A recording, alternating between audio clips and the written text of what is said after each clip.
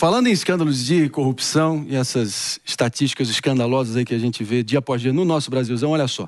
A anulação das decisões do Dias Toffoli, ministro do Supremo Tribunal Federal, sobre as decisões da Lava Jato contra o Marcelo Odebrecht, limpando de vez a barra do empresário, virou meme na internet, vocês devem ter visto. Então, só aqui para vocês entenderem, para quem está nos assistindo no YouTube ou também na TV, foi um texto publicado nos jornais impressos em dezembro de 2016, onde a Odebrecht fez um pedido de desculpas total e absoluto, em que a empresa reconhecia ter cometido irregularidades no auge da Operação Lava Jato, quando o cerco ali estava fechando e o calo apertando. Mas agora, em forma de meme, o mesmíssimo comunicado foi ressuscitado, alterado e está circulando com várias mudanças, ironizando as anulações de processos.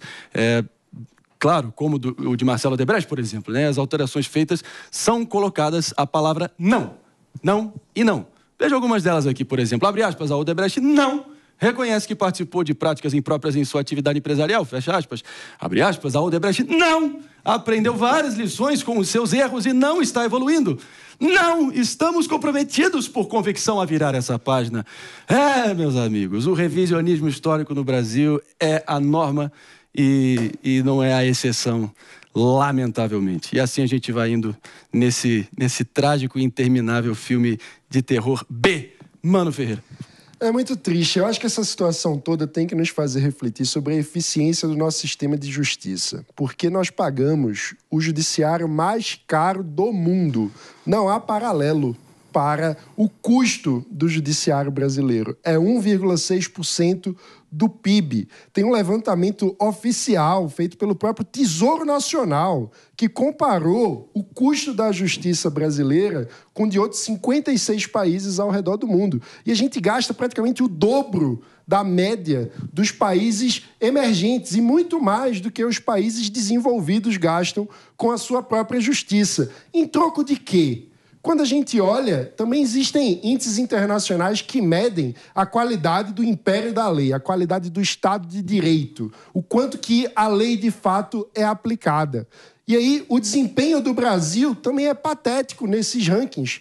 O Brasil está na metade dos piores sistemas de justiça do mundo. Ou seja, nós pagamos o mais caro sistema de justiça para que ele esteja entre os piores do mundo. Não podemos achar isso normal. Isso devia ser uma prioridade absoluta do nosso sistema político e da sociedade, uma discussão séria sobre como fazer com que haja de fato efetividade e eficiência na prestação do serviço de segurança e justiça, porque sem justiça, sem que a lei de fato valha para todos, não seremos jamais um país sério e muito menos um país próspero.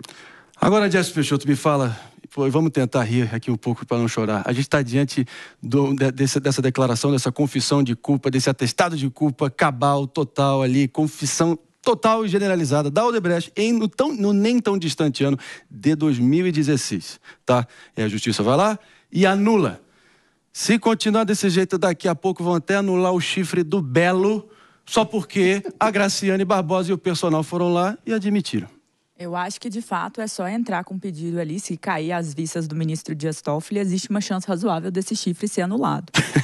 Mas, e aí, dentro disso, a gente entra num ponto, né? Um num homem ponto sem chifre é um homem sem defesa. É. Um Como é que é, humano... Um homem sem chifre é um homem sem defesa. Tá certo aí, tá certo aí, ó é um ponto que o Mano tratou aqui da justiça brasileira. Existe um conceito que eu acho que é fundamental, né? É impessoalidade, né? A gente não pode esquecer que quem anulou o processo, e aí não é sobre um ataque à instituição, não é um ataque sobre o juiz, é sobre o fato, tá? É correto que o juiz que anule este processo, que anule a, a, a culpa ali é, ratificada e confessa do Marcelo Odebrecht, seja o mesmo juiz a quem ele, lá atrás, na delação, chamou de um amigo do amigo do meu pai?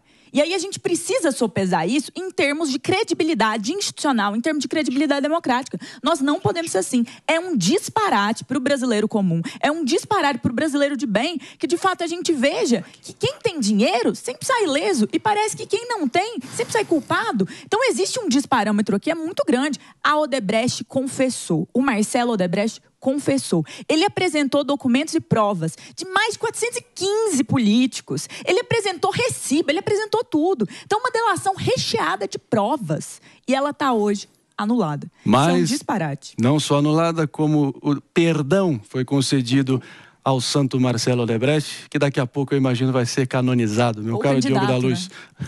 E a, vale Não me dizer, a surpre- Odebrecht já ganhou a licitação para a refinaria Abreu e Lima de novo. Olha lá, bem lembrando. Odebrecht não, meu caro mano, é Novo Honor. Exatamente. Novo Novo Honor.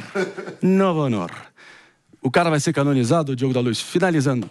Mas acho que tem uma pessoa que ficou esquecida aí. Faz coisa de 20 anos, os alemães venderam submarinos para Portugal e os alemães foram presos por corromperem portugueses. E os portugueses foram absolvidos. Aí eu venho aqui no Brasil e me lembro, e o Marcos Valério? Corrompeu meio mundo de pessoas, um crápula condenado a 30 anos, ainda pagando pena, embora na sua casa com tornozeleira, mas pagando pena. Quem ele corrompeu, afinal? Está na hora de soltar ele também, porque senão não faz sentido essa coisa. É.